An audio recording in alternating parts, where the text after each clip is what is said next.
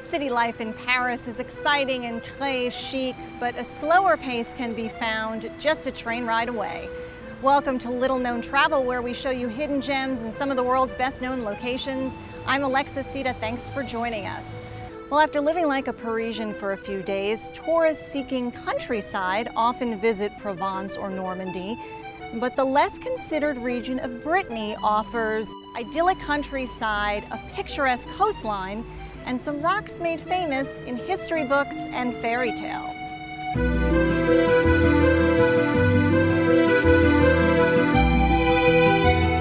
A three-hour train ride headed northwest from Paris brings us to the beautiful countryside of Brittany, a region of France where several cultures converge.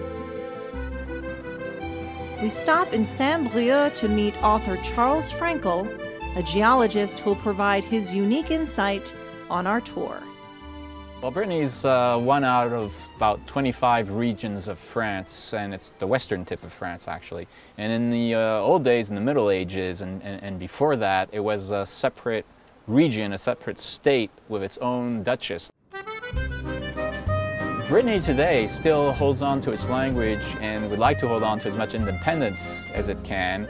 They actually try to preserve that language. There are a lot of schools where they, where they speak Breton as a foreign language or as one of their main languages. Uh, we have radio channels in Breton and TV shows in Breton language.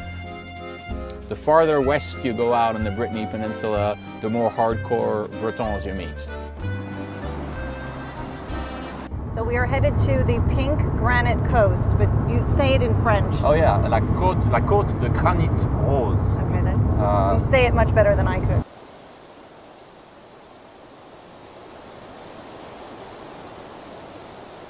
We're in uh, halfway between Perros-Guirec and Ploumanac'h, northern Brittany, basically facing uh, the British Isles way past the horizon on the English Channel. And, and this has a remarkable coastline of, of granite, as you can see, that's uh, carved into boulders. Um, doesn't it remind you of any other place? Well, I was going to say that it reminded me of something you would see in Joshua Tree Park in California or something in the That's true. southwest. Yeah, exactly. It, you see typically granites being eroded that way in the desert or whatever, but it, the fact that it's on the coastline makes it uh, really picturesque. Great Britain is on the other side of the channel. Actually, if you go back to the ice ages about 10,000 years ago, the sea level was lower uh, and people could actually walk across the channel. There was no sea between Great Britain and Britain. There was like Oh. a major river going by, so you still had to pass a river. But that's why there's so many similarities between the Breton people, the Celts from France, and the Celts from, From- Great Britain, right. Scottish, Irish, etc. And they actually they still get together and have music festivals, Celtic music festivals, and they can understand each other. Their dialects are so close. Day two of our travels through the Brittany region, and we are on our way due south to the city of Auray. Correct, yeah. Auray is on the Atlantic coast now, uh, and it's a medieval city, at least it started in the 1500s probably, with attached to it a little harbor called Saint-Goustan, uh, which is set on a river, actually. And which is interesting there is you'll see that this little tiny harbor of Saint-Goustan has a major connection with Franco-American relationships. Ah,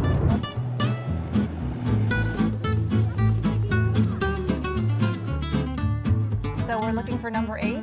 Yeah, number eight uh, on this K should be right here. The interesting uh, anecdote about this indeed is that uh, Benjamin Franklin landed here almost by mistake as he came across the Atlantic uh, seeking help from the King of France in 1776, uh, just after the Declaration of Independence.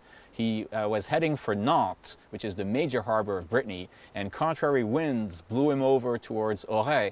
And instead of waiting for the winds to change, since he was in a hurry to meet the King of France, Louis XVI, uh, he went on a little rowboat and arrived in Saint-Goustan and landed in France in this tiny little harbor where he spent the night before he took a uh, carriage, a horse-drawn carriage away to Paris the following day.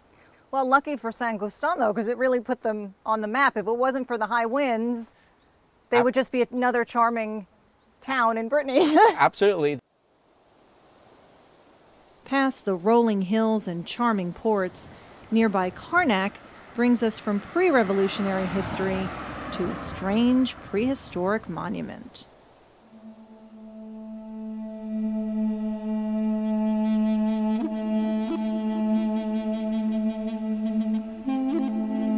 These have been famous for centuries and they date back to, again, it seems like 4,000 years before Christ. And there are thousands of them, because if you count, there are 12 rows that converge from west where we stand to east in that direction, perfectly lined up, 12 rows.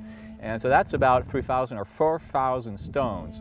And the fun part is that perspective is you have them really lined up in a west to east direction, perfectly lined up uh, over half a mile. And they are larger and then they get smaller. Correct, correct. Here you have the taller ones and uh, like 10 feet, 12 feet tall. And as you proceed towards the east, they get lower and lower and they're only like two feet tall when you're at the farther end. So there's a sense of perspective that the artists, or whoever they were, were, were trying to put into this. But there's probably a more even deeper explanation that we don't understand now, probably an astronomical alignment like at Stonehenge, uh, and some astronomers I talked to have calculated all the angles and said it corresponds to the rising point of Venus 4,000 years before Christ or some other star, uh, Venus being a planet, or some other star. Uh, who knows? And what practical purpose then would that serve to have that information? Probably power, because if you're able to predict as a, as a tribe what's happening in the sky, you're in sync with the gods. I see.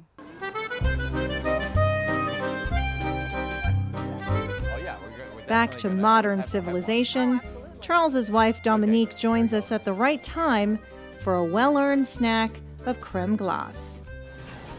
So we are in the town of Carnac. Right. So not only known for all its uh, uh, monuments dating back to the Stone Age, but also look at this uh, ice cream. Okay, but this is not just a regular ice cream place. It smells fabulous, but there's a reason why this is famous. Why? It has the highest number of different flavors ever in an ice cream shop. It's actually on the Guinness Book of Records with 171 different flavors. You name it. Look, look on the board. I love that Heineken they have. Black Forest, apricot, lychee, rum, uh, red fruit. Martini, they've got uh, violet cherry flavor. plum, whiskey coke, uh, papaya. There was a uh, tomato over there. Tomato. that? Date. Uh, Rose. Leek. Uh, and of Is course, there leek? Really? Leek up there. Oh, Potatoes. Oh, right. oh potato Carrot. flavor. Truffle. Truffle wow. ice cream. All right, well, we have to have a flavor. We've got to try. But I don't know if I'm going to go for leek or potato. It doesn't sound that good to me. I might have to just go with the... salted butter caramel. Yes, and maybe some Nutella. We'll try that. What'd you get? Nutella. Ah, rum. Does it taste like rum? Outstandingly so. Is there really rum in there? Probably not. It's probably just the flavoring. Or everybody would be walking crooked in the streets of the Carnac. Yeah, can I try yours? Mm -hmm. It does taste like rum. The last stop on our journey is to the origins of an international legend. The area of Huelgoat helped inspire some of history's greatest stories of bravery, romance, and mysticism.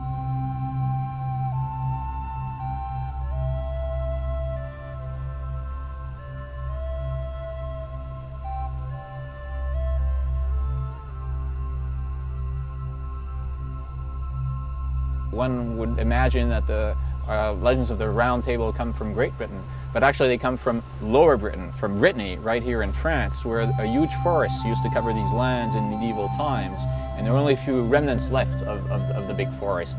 Uh, one part is Huelgoat, where we, we now stand, and in this legend, uh, uh, King Arthur and the Knights of the Round Table and Merlin uh, basically are haunting these places, and they, a lot of places here bear their names. There's a grotto called the Artus Grotto nearby, which basically means King Arthur. Uh, it all took place actually here. These are some serious rocks of chaos. Actually, it's still granite, quite similar to what we saw on the coastline, maybe different composition. but basically a huge magma chamber of, uh, of crystalline rock underground. Oh, hundreds of millions of years old. But what's fun is the legends. Yes, because they're, they're called the chaos rocks for a different reason. Yeah, they thought, they believe, of course, I mean, people in the older days thought that these were tossed by giants. Basically, giants were unhappy with the people of this land and actually went to the seashore and took the big boulders from the seashore and tossed them 100 miles inland, and they all landed here as a chaos.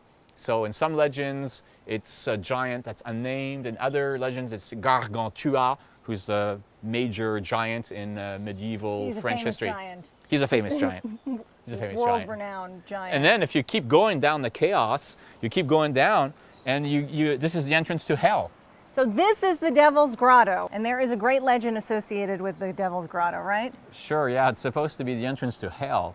Uh, and there are 99 inns on the way down to hell. Inns. I-N-N. Yeah, where you serve Okay. wine. Actually, fairies serve you wine at each inn on your way down to hell. And if you get to hell sober, then you get eternal salvation. You go to heaven, I guess. But is- no wine. But no wine. There's no wine. Which might be much less fun. So, yeah, hell sounds a lot more fun. So let's go. Let's check it out.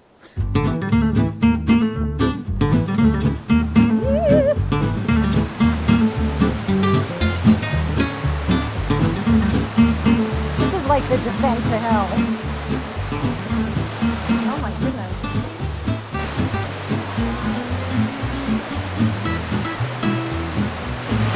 Wow.